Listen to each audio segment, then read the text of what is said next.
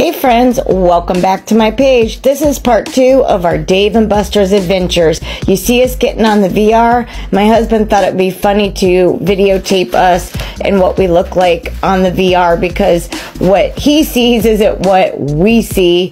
So we kind of look goofy when we're playing on these controls and stuff.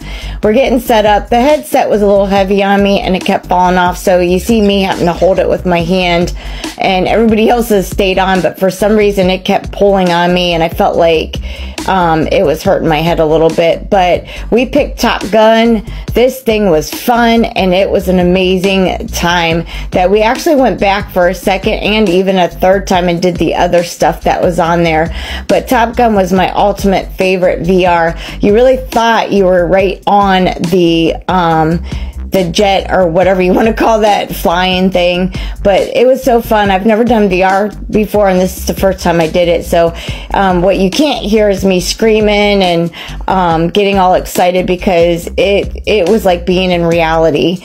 Um, if you've never done VR before, I highly recommend it. This is at Dave and Buster's, and they got different types of um, like moving VRs that you can choose from, and this is what we chose to do. But it was really fun and exciting. This is actually my second time on here as of today. So my husband uh, went on it the first